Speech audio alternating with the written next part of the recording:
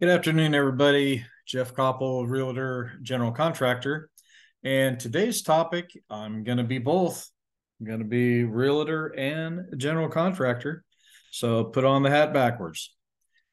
Had a closing uh, just closed uh, last week, and uh, the seller, or the actually the buyer, took a little bit later possession of it. They had about a uh, week long uh, lease back to the seller. And so they were moving stuff in the other day and um, I actually was helping do a couple of things that a couple of repair things since I'm a general contractor. That's sometimes a service that I offer to my clients if if you know time permitting. So uh, I was over there the other day doing a few things, you know, helping them hang a flat screen TV, a couple shelves, that kind of thing. And they went to turn on the water and they didn't have any hot water. well, you know, happens all the time is whenever someone sells a house, they usually turn off utilities and then it's up to the buyer to get the new utilities set up in their name.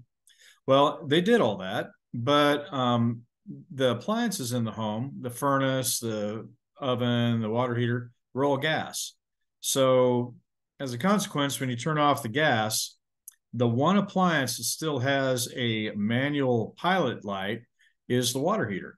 So, you know, the oven and the furnace have electronic igniters. So, you know, they basically control the gas coming on or not.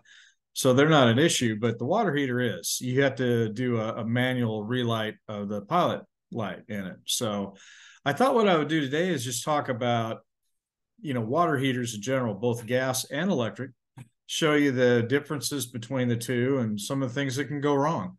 So I thought I'd go ahead and share my screen with you here. And what I'll do is I'll start off with gas water heaters since they're a little bit more complicated. And interestingly enough, when water heaters were first introduced to homes and businesses, they were gas. And as I go through this, you're going to see that gas, you know, water heater is quite a bit more complicated than electric water water heater in terms of all the parts and things like that. So anyway, I thought I would start off with this image here.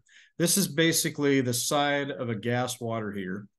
And I'll just kind of go through some of the anatomy here of a gas water heater. This is basically the control unit. This is what controls gas flow through the through the water heater.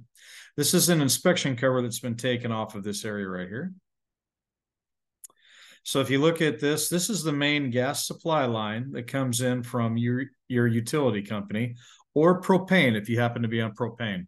Now, in a situation of a natural gas, the pressure of this gas flowing in here is about four and a half ounces of pressure. So it's not much pressure, but it doesn't take a lot of gas to pull up and cause a problem. So that's one reason that it's uh, you know reduced down to about four and a half ounces to reduce the likelihood of problems with gas from an explosion. Now, if we look at uh, the various pipes that come into this control unit here, if you see this one right here that's running vertical, that is from the thermocoupler, and I'll explain that in more detail later. This larger pipe here supplies the main burner setup. And then the smaller stainless steel line that you can see here that kind of snakes around this way. This is the gas supply for the pilot light. Okay. So then let's go down here and we can see the whole unit as it looks uh, underneath the water heater. So here we can see again that large pipe that feeds in here to the main burner unit. The, in this case, the smaller pipe that feeds over here to the pilot light. Here's the pilot light right here. And then also while I'm in here, let's show you, here's an igniter. It's basically just a sparker. That's this little piece right here. And then this here is the magic the thermocoupler. Interesting thing about a thermocoupler is it's made out of two dissimilar metals. And when you heat up two dissimilar metals in close proximity to each other, it generates a small DC electric charge. And so that electric charge is what is used to basically control the valves within this control unit if that thermocoupler doesn't heat up within a certain period of time, normally 20 seconds, what will happen is the gas valves within here to the pilot light will shut off. And then you'll have to wait like 10 minutes or so for it to reset automatically. And again, remember, this is the old technology. This this stuff was all thought of, the thermocoupler and all that was all thought of back, you know, like 1900s, which always amazes me that they came up with that first. So anyway, that's this is an entire gas assembly underneath the gas water heater. Okay. And so basically what happened the other day uh, when I was at my client's house, you know, the gas was off. So I went ahead and bled the system and, you know, made sure I had gas coming, coming to the unit here. But then you can see this wire here. This is actually to a sparker. This is a, uh, basically a push button up here that you would push and, and that ignites the gas by the pilot. Well, that spark that sparker wasn't working anymore. It was broken. It wasn't kicking out a spark. So the way I actually lit the pilot was by removing this little inspection window here, taking the glass out, and then I had uh, basically a barbecue lighter that I stuck in here far enough to where it was right above the pilot, and then I was able to light the pilot light. So if we want to see what that looks like, here's basically what that operation looks like. Here is the barbecue lighter coming in right here. And this little blue flame right here is the pilot light. So if you notice that little blue flame is touching the thermocoupler here. Basically, as that thermocoupler heats up, it kicks a small electric charge up this line to the main control box main control box here. You can see where it comes in right here. And as long as it receives an electrical charge on these gas valves inside, gas will continue to flow. So let's go on down here. Now here's a modern control unit. And now one thing that they've done that is kind of a cool safety feature now, since there is a little bit of a DC charge that comes up from that thermocoupler, now they have a little computer in here that can ignite or light up this LED to indicate the condition of what's going on within the water heater. So I don't know if you can read this up here, but it says normal operation. This is like one flash. It'll flash once, you know, like every two seconds or so. So that's a really neat feature. Just to, at a glance, you can tell if your pilot light is still lit. So what this unit looks like, this is it turned sideways. So you can see that this part of the unit goes into the water tank on a gas water heater. And this right here is basically a mercury switch that as it heats up, gets up to water temperature, wherever your thermostat's set, it will turn off the flow to the main burner, you know, so it quits heating the water.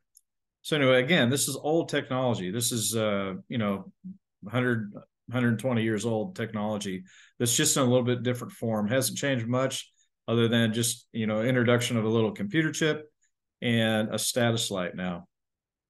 Okay. So that's basically a gas water heater. Now let's take a look at the differences between a gas and electric water heater. And if you see here, here's that control valve outside of a gas water heater and the burner assembly underneath here. Now with the electric water heater, it basically just has one or two, you know, uh, heating elements. And that's these right here inside of the tank. And on the outside of the tank is the thermostat for each of the heating elements. Now, what usually happens uh, in a house with an electric water heater, sometimes I'll get a phone call from the homeowner say, "Man, I just don't have that much hot water in the house. It's really, you know, it really never gets that warm." So what happens a lot of times is when utilities are shut off. Uh, normally, one of the utilities is water, and say you've got some people in there doing some repairs prior to when you move in. Uh, say the water's back or the water's off and you might have some trades and they're just doing a few things where they need a little bit of water a little bit of masonry touch up or something like that. Okay, if they have it on the hot water valve open, there's a good chance that they're going to drain that tank down past one or both of these heating elements. Now remember, your electricity's off at this point, right? So they're just doing some maybe some stuff in the in the yard where they're you know just getting water out of the kitchen sink and or anything, and it could be anything. Uh, but anyway, just say the water gets drained down in this hot water tank.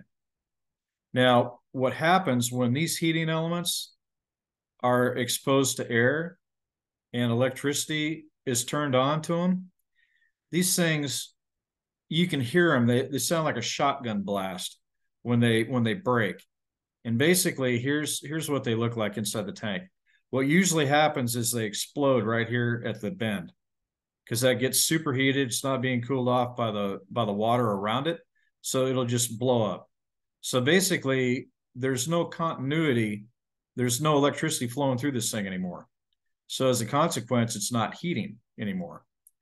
Now, the only disadvantage of this, one of these, if one of these goes out, you know, usually when you figure it out is after you turn the water back on and now the tank is completely full. In order to change these, you've got to drain the tank. So that's that's the one uh, one disadvantage to electric water heater. Whereas the only time you have to drain the tank on a gas heater is if you need to replace this control unit right here. All this stuff is underneath the water tank and can be, you know, taken out and replaced without having to drain the tank. So anyway, um, I hope that gives you some information that you didn't know before. And like I said, in this case, um, since I understood how to, you know, relight a gas water heater, um, my client was able to just ask me how to do it, and I was able to fix it for him right there. So that's one of the advantages of working with a realtor that has contractor experience. Um, but I would love to, uh, you know, answer any other questions you guys might have. You can submit your questions or requests for videos to jeffkoppel at gmail.com. And if you would like to work with a realtor that has extensive experience with construction and how to repair things around your house, um, how to negotiate uh, for repairs with your seller before you buy a house, or if you're a seller and and you want to present your property in the the best fashion for you know the most potential buyers to be interested in it i can definitely help you on that side as well. So again just contact me at jeffkoppel at gmail.com and i would be glad to create new videos for your questions you might have or work with you as a realtor. I hope you enjoyed this and see you on the next one